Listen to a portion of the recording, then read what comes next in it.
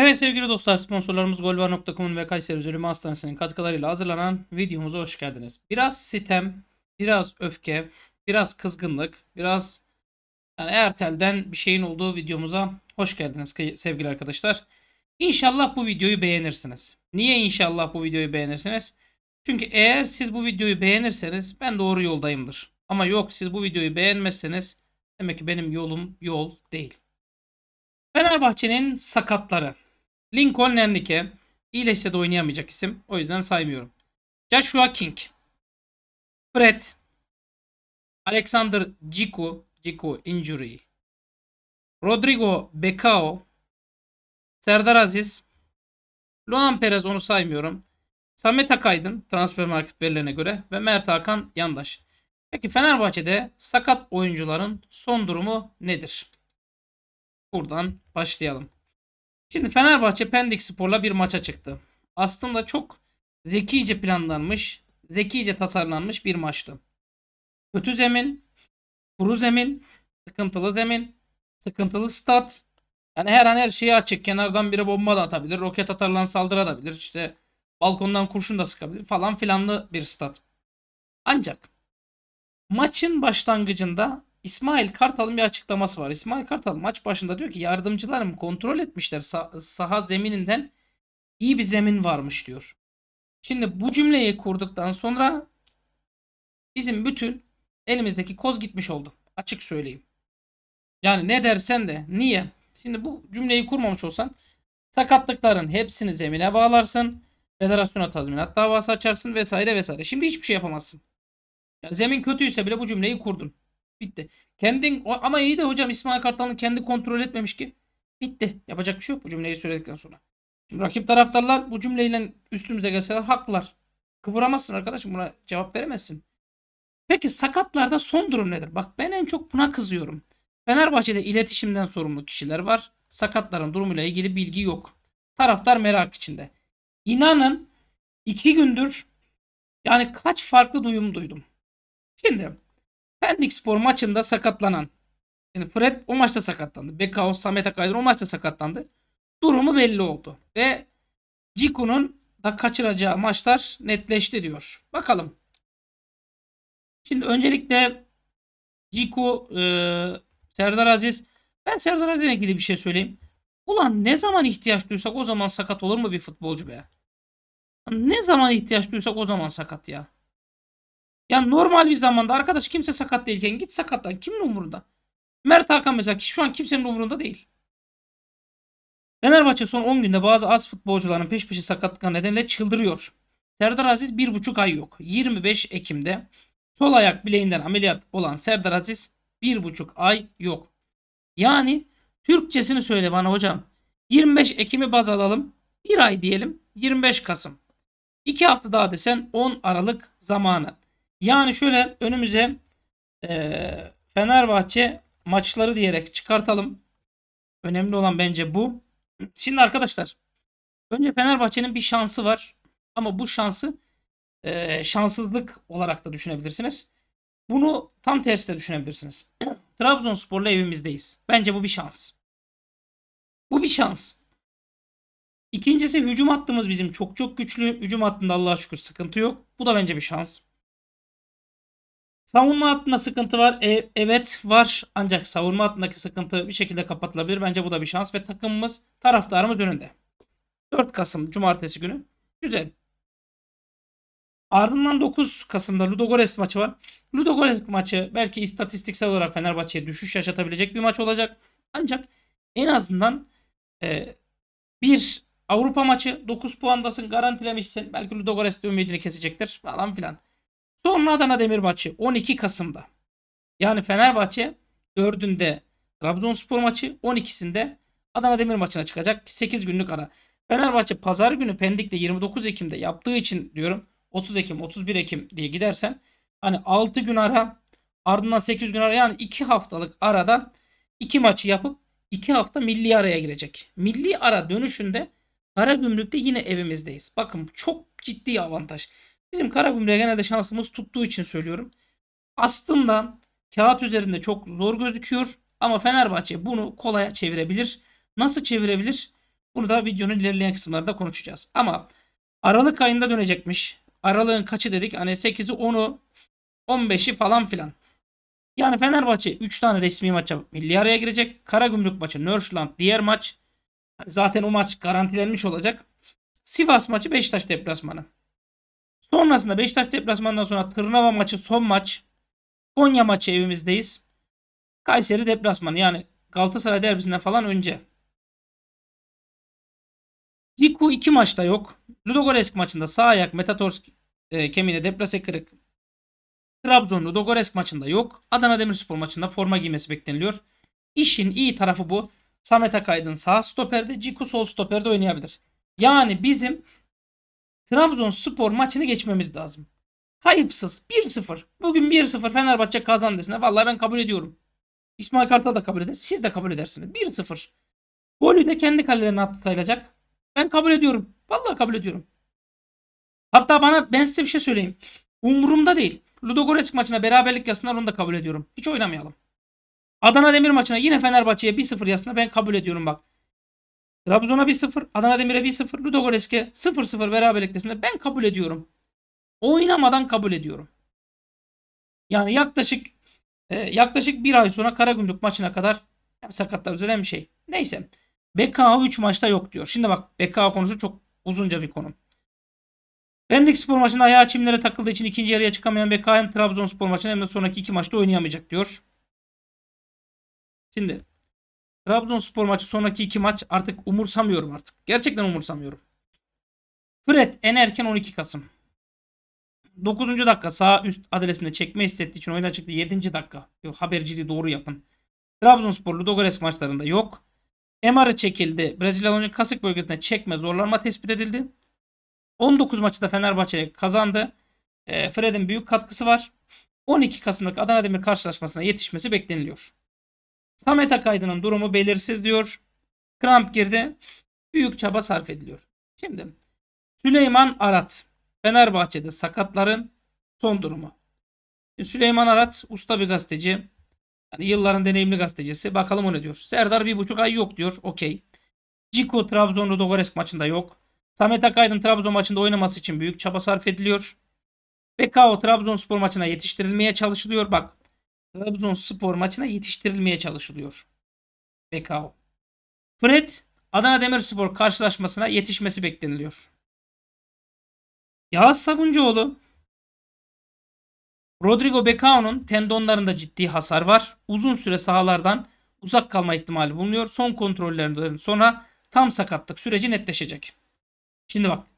Birisi Trabzon maçında oynayabilir derken diğeri tendonlarda ciddi sakatlık var. Yani ciddi bir problem var. Ciddi hasar var pardon. Cümleyi tam vereyim. Bu arada Trabzonspor'da Bakasetas ve Trezeguet sakatlıklar nedeniyle Fenerbahçe maçında forma giyemeyecekler diyor 12 numara. Hani fakir tesellisi demeyin buna ama ya şartlar eşit gibi bir durum olacak. Harbi söylüyorum bak. Şartlar eşit gibi bir durum olacak. Şimdi bakın bu da tamam. Trabzonspor'da bu Bakasetas ve Trezeguet'in sakatlıkları nedeniyle Fenerbahçe maçında forma giyemeyecekler. Haberi inşallah doğrudur. En azından işler hani e, şartlar eşitlenmeye gidiyor. Bir de iki stoperi daha en azından bir tane stoper oynamazsa tamamen şartlar eşit olur. Hani bunu temenni için, dua için falan söylemiyorum arkadaşlar. E, duruma binaen söylüyorum. Yanlış anlaşılma olmasın. Çünkü çok kötüye çekebilen insanlar olabiliyor. Şimdi bak Yağız Sabuncuoğlu Rodrigo'nun Becao'nun tendonlarında ciddi hasar var. Uzun süre sahalardan uzak kalma ihtimali bulunuyor. Son kontrollerden sonra tam sakatlık süreci netleşecek. E, biri maça hazırlanacak, hazırlamaya yetişmeye çalışıyor. Öbürü böyle. Özel, e, sevgili Ezel kardeşim, Furkan kardeşim. Bekao Ocak sonuna kadar, Ocak sonuna kadar sakatlığı dolayısıyla forma giyemeyecek. Bekao'da hamstring yırtığı var. Erken dönerse sürekli aynı yerden sıkıntı yaşayabilir. Bu yüzden en uzun süren ama en temkinli tedavi uygulanacak. Bu yönde karar çıktı. Allah bak bu da başka. Sercan Hamzoğlu açık söyleyeyim. Babamın oğlu değil Sercan Hamzoğlu. Bir dönem beni takip ediyordu. Sonra takipten çıkmış. Aşk olsun Sercan Hamzoğlu'na. Yani ben gurur duyuyordum Sercan Hamzoğlu tarafından takip ediliyorum diye Twitter'da. İnşallah buradan takip ediyordur. Ben üzüldüm açıkçası ama yanlışlıkla olmuştur. Muhtemelen yanlışlıkla çıkmıştır. En doğrusu Sercan Hamzoğlu'nunki. Bak ben buna kefilim. Ve Kao'nun kas bölgesinde kan biriktiği için doktorlar teşhis koyamadı. Doğru. Farkındaysanız kulüplerinde bir açıklama yok. Bekao'nun kas bölgesinde kan biriktiği için doktorlar teşhis koyamadı. Yani Türkçesi MR oldu şey e, ödem olduğu için MR'da kesin sonuç çıkmadı. Ödemin inmesi için 48 ila 72 saat beklenilip tekrar MR'a girip sakatlığı belli olacakmış. Yani aşağı yukarı zaten 72 saate gerek yok. 2 gündür uygulama yapılıyor. Yani dün sabahtan e, bugün sabaha kadar bir 24 saat hatta siz bu videoyu izlemeye bir 36 saat olmuş olacak. En fazla bir buçuk gün sonra net olarak MR'a girip sonuç çıkacak. Bakın arkadaşlar 48 yani bilginiz olsun 2 gün içinde yani siz bu videoyu izlediniz ya ertesi gün değil bir sonraki güne kadar yani perşembe gününe kadar perşembe öğleye kadar teşhis konulur. Yırtık varsa ameliyat dahi denilebilir. Zedelenme ise birkaç hafta olmayabilir. Belki de sadece ödemdir. Hiçbir şey yoktur. Trabzonspor maçında oynayabilir. En doğru açıklama bu arkadaşlar. Anladınız mı? En doğru açıklama bu. Sonrasında ben şunu da söyleyeyim. Fenerbahçe'de Trabzonspor maçında stoperler Samet Akaydın ve Osterwolde olacak diyor. Sercan Hamzoğlu. Fred'in yerine de Zayt forma giyecek diyor. Şimdi Fenerbahçe taraftarındaki ümitsizliği ben algılayamıyorum. Kafam basmıyor. Sezon başladı siz ne diye ağladınız? 6 numaramız yok diye ağladınız. Şimdi ben size de kızacağım. Sezon başladı ne diye ağladınız? Stoper attığımız zayıf diye ağladınız. Beğenmediniz. Ne Serdar'ı beğendiniz, ne Samet'i beğendiniz, ne Ciku'yu beğendiniz, ne Bekao'yu beğendiniz. Sezon başladı sağ bekimiz yetersiz diye ağladınız. O sayı tarihi sezon geçiriyor. Sezon başladı bilmem kanatlarımız İrfan'dan Cengiz'den olacak iş değil. İrfan'ı oynatan salaktır dediniz. Tarihi sezon geçiriyor. Sezon başından beri sahaya bakmayıp isme baktınız. Geçmişe baktınız. Geçmişte ne yaptın şu? O zaman hep budur. Şu salaklıktan bir vazgeçin. Çıkın bir. Bu odadan bir çıkın. Bir ayrılın. Bu salaklık odasından bir ayrılın. Yaptıklarına göre yorumlayın. Beni kızdırıp durmayın. Bak ben size bir şey daha söyleyeceğim. Sevgili e, Furkan diyor ki bir sakat daha var. Maça yetişip yetişmeyeceği perşembe gibi belli olacak. E, Trabzon'un sporlar gaza gelmesin diye bu ismi vermeyeceğim. Yerlilerden biri diyor. Ya şimdi gizem oluşturmanın da sebebi yok.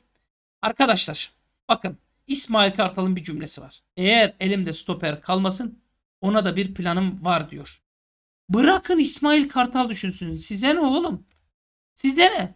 19'da 19 yaparken size mi soruldu? 19'da 19 yaparken kadroyu siz mi çıkardınız? Ben ilk haftalarda bak burada her maçın maç önü yayını var. Açın. Birinci maçı açın. ikinci maçı. 3, 4, 5. maçı, aç, maçı açın. Niye İrfan Can oynuyor? Mert Hakan neden var? Batshuayi salağını kim yazdı? Bak bunlar sizin cümleleriniz. Tokatlarım. Hepinizi tokatlarım. Bende hepsinin kayıtları var. Açıp şak diye silemiyorsunuz. Bilginiz olsun. Canlı yayında ne yazdınız? O bitti. Silemezsiniz. Orada yazıyor. Ben silmediğim müddetçe silinmez. Ben silmedikçe silemezsiniz. Orada yazıyor açın bakın. O sahiden sağ bek olur mu? Ferdi keşke sağ bek olsa. Ama solda da oynayacak adam yok. Luan Perez bunların hepsinden iyi stoper. Sizin cümlelerinizle konuşuyorum ha. Kardeşim bırakın İsmail Kartal karar. Bak ben size bir şey söyleyeyim. Alın size kadro 1. Al. Osterwolde Samet, Sercan Hamzoğlu kadrosu bu. Zayt, İsmail Şimanski, İrfan, Ceko, Tadic, Ferdi Osayi ve Livakovic. Ben size bir şey söyleyeyim. Şu kadroyla en, en kötü 4 tane atarız en fazla bir tane yeriz. Şu kadro en kötü 4-1 yener Trabzonspor'u. Adil, şerefli, namuslu, dinli, imanlı, ahlaklı bir hakem yönetiminden bahsediyorum. Ha hakem hani ben Allah'ı kitabı unuttum. İsteyen istediği küfrü etsin derse istediğin kadroyu kur yenemezsin hakemi. Öyle bir dünya yok. İkinci kadro hocam Osterwolde'den olmaz. Samet Mert Müldür yaparım. Yani siz diyorsunuz ki kulağımızı iyice kenardan gösterelim.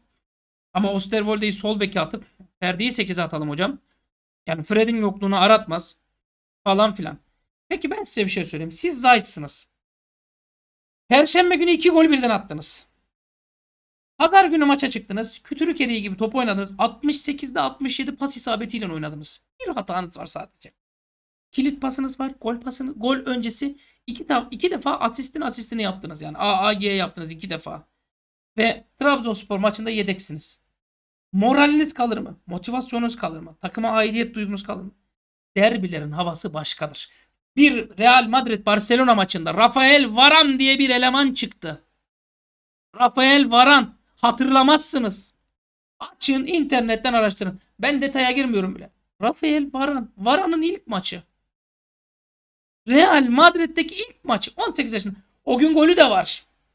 O gün seksi müdahaleleri de var. Yakışıklı müdahaleleri de var. Böyle atletik müdahale. Harbi söylüyorum ya seksi müdahale ne hocam? Lan orta açıyorlar Rovaşatay'la falan uzaklaştırıyor. Ya manyaklık bu çılgınlık bunu. Açıklayacak bir cümle ta- tabir kelime yok. Hani aklıma o geldi onu söyledim. Bilmiyorum ne kadar doğru söyledim. 18 yaşında çocuğu koydu cuk diye oynadı. Beşiktaş maçı Gaziantep maçında. Gezdal çıktı. Muleka'yı falan alabilirdi. Gitti Yakup muydu çocuğun adı? Ya, e, yanlışım olmasın. Çocuğu adı.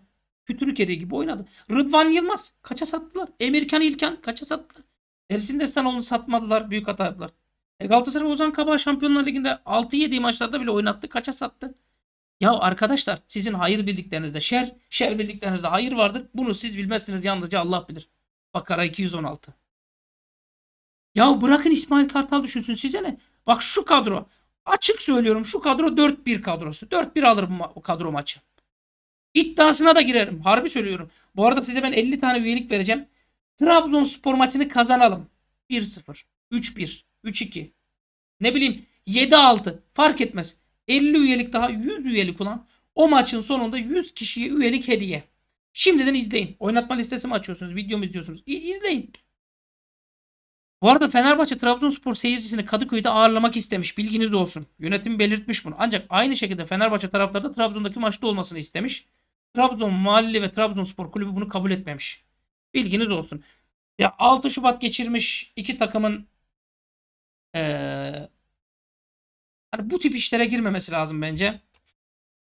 Dostluk, orta ya taraftar gruplarını çağırırsın kardeşim bak. Fenerbahçe formasına geçsin Trabzon'da. Sana ne lan?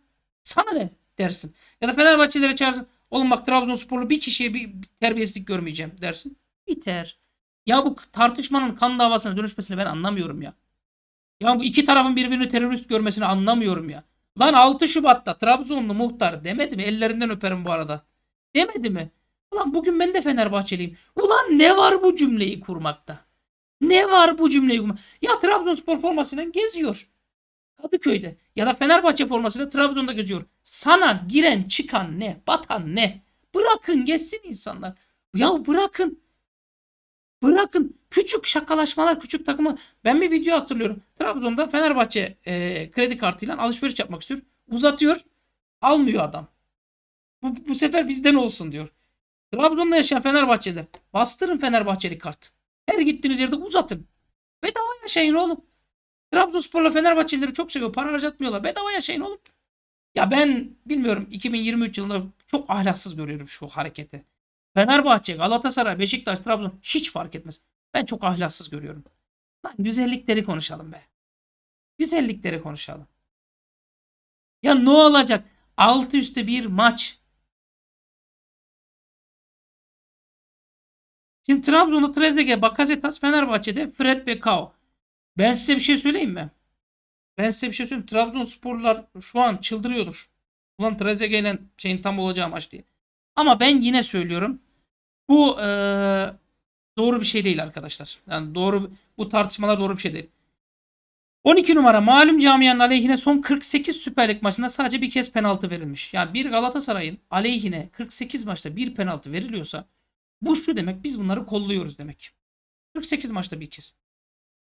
Galatasaray'a son 36 Süper Lig maçında sadece bir kırmızı kart verilmiş. O kırmızı kartta yasa dışı bahis skandalından sorgulanan Zaniolo gör diyor. Ki ben o kırmızı kartı bilerek yediğini düşünüyorum. Yemin ediyorum yani bakın abi videoya. Ayağını kaldırıp bilerek lank diye vuruyor. Yetmiyor diyor. Malum camiayı yarışta tutmak için her hafta haram puanlar hediye ediliyor. Büyük ekşi siz TFF başkanı mısınız yoksa malum camianın mı karar verin diyor. 12 numara haber. Ben demiyorum arkadaşlar ben okuyorum. Dangalağın bir tanesi geçmiş bana yorum yapıyor. Oğlum ben bak ben sosyal medyada olanları paylaşıyorum. Bu arada Twitter'ımda, burada, Instagram hesabımda yöneticilerim var arkadaşlar. 60 bin kişiye hitap etmeyi siz kolay bir şey mi zannediyorsunuz? Sadece siz video çek arkana yaslan mı zannediyorsunuz? Yorumlarına bakılıyor. Ya terör propagandası yapanlar oluyor yorumlarda. Sizin haberiniz yok. FETÖ propagandası yapanlar oluyor. Bunlar adli işlemler falan bildirilmiyor mu zannediyorsunuz? Ne bileyim onlar es geçiliyor mu zannediyorsunuz? Ya saçmalamayın. Arkadaşlar İrfan 25 diyor ki yönetimimiz MHK hakemler ve VAR uygulamalarıyla ilgili oldukça sert bir açıklama yapmaya hazırlanıyor. Bu tam doğru değil. TFF yönetiminden de hakem kararlarıyla ilgili izahat istendi. Bu doğru. TFF yönetimine çok ağır bir cümle kuruldu. Ben cümleyi tahmini söylüyorum ha. Hissi söylüyorum. İçimden geçtiğince söylüyorum. Herhangi bir duyumum yok. Yanlış anlaşılmasın. Hissi söylüyorum. Açık açık şeref, namus gibi kavramlar açık açık ortaya dökülerek bir soru soruldu. Federasyon başkanına ve MHK başkanına açık açık yazılı bir şekilde. Bilmem ne misiniz? Nedir bu kepazelik? Her bu kaçıncı oldu? Her Fenerbahçe maçından sonra hakemin Fenerbahçe aleyhine hataları, her Galatasaray maçından sonra hakemin Galatasaray aleyhine hataları konuşuluyorsa bu ayıp sizin ayıbınızdır. Bu utanç sizin utancınızdır. Ya üstünüzdeki formayı çıkarıp adam akıllı tarafsızlık forması giyersiniz ya da bizim stadımıza siz de dahil hiçbir elemanınız, hiçbir personeliniz giremez. Bu ayıpta dünya kamuoyunda yer alır. Bu ayıpta size bir ömür yeter. Gerekirse özel güvenlikçileri, özel kalemleri oraya koyup emniyeti, emniyet güçlerine dahi haber verip statta bilmem şu olacak bu olacak deyip hiçbir hakeminizi stadyumumuza almayız diye tehdit gelse. Federasyon başkanı utanıp ulan geçen sene zaten Galatasaray şampiyonluk hediye ettik. Bari bu sene de Fener hakkıyla şampiyon olsun der mi bilmiyorum. Lale orta konuşuluyor. Dünyanın en geri zekalı tartışması. Geçen sene kim şampiyon yapıldı? Galatasaray. Kim şampiyon yapıldı? Galatasaray. İstense kim şampiyon olurdu? Yapılırdı. Fenerbahçe yapılırdı. Kaç puanlık fark var arada? Kaç puanlık fark var? 6 puan da var. 3 puan var. Sadece 2 tane. Fenerbahçe Galatasaray maçı. Maç başladı. Gel buraya. Gel gel Mustera. Sen kimin anasına sövüyorsun? Şak kırmızı. Bitti. Sadece dakika bir. Anama sövdün. Al kırmızı. Bitti. İki maçı Fenerbahçe kazansa şampiyon Fenerbahçe. O kadar sezon boyunca uğraşmaya da gerek yok. Offside'ımsıya gerek yok. Hani dokunulana penaltı verilmeye gerek yok falan. Sezon bitmiş. Lale Orta Fenerbahçe başkanına görüntüleri göndermiş. Yargılansın. Ulan sizin hiç mi Allah'ınız yok be? Hiç mi dininiz yok be? Gerçekten soruyorum. Ulan zaten siz şampiyon oldunuz. Sizin şampiyon olduğunuz sene Lale Orta'nın yargılanmasının mantığını anlamıyorum. Bak Fenerbahçe dese anlarım. Lale Orta yargılansın Galatasaray halini şampiyon yaptılar. Anlarım. İki. Elinizde belge varsa çıkın savcılığa verin. Federasyon ne dedi? Bana çıkıp da suni gündemler üretmeyin. Kaos üretmeyin. Çıkın açıklayın. Senin başkanın ne dedi? Elimde belgeler var. Vermeyen namussuzdur ya. Vermeyen alçaktır ya. Ya ve çıkın verin elinde belgeler var. Ya benim elimde al şey var. Akıllı saatin şarj aleti var. Var. Bitti. Gösterdim bitti. Benim elimde akıllı saatin şarj aleti var. Gösteririm ama göstermiyorum. Bu ne demek? Ben dansöz kıyafetini giydim kıvırıyorum demek. Başka bir şey değil ki bunun anlamı. Ya bırakın Allah'ını severseniz.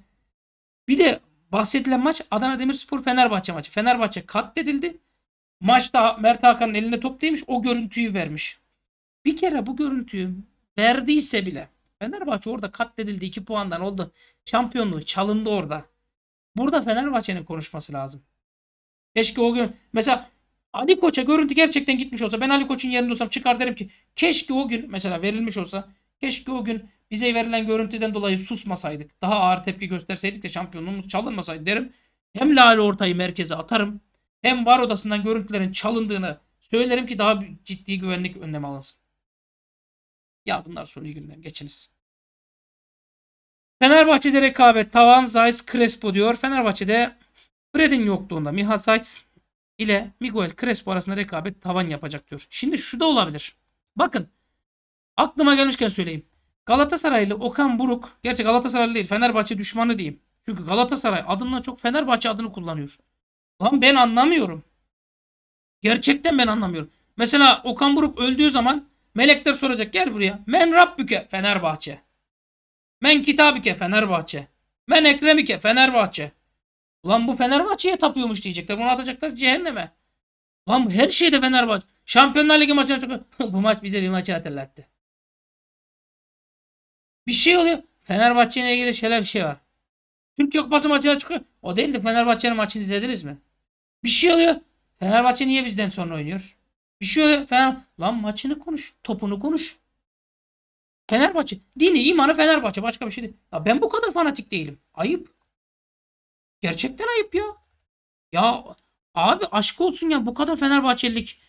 Ya biz ne bileyim Metin Oktay falan kaldı. Gerçi Metin Oktay diye birisi Türk futbolunda yok. 1959 öncesinde futbol oynayan hiç kimse Türk futbolunda yok arkadaşlar. Hani bunlar var dediğiniz zaman Galatasaraylılar size küfür ediyorlar. O yüzden sakın böyle şeyleri konuşmayın. 1959 öncesinde Metin Oktay diye birisi yok. Baba Hakkı diye birisi yok. Haberiniz olsun. Şimdi şunu da söyleyeceğim. Bak Fred yok, Bekao yok. Umurumda değil. Vallahi umurumda değil ya. Yemin ediyorum umurumda değil. Bitti. Bana ne oğlum? İsmail Kartal ben miyim? Gitsin İsmail Kartal düşünsün. Size ne?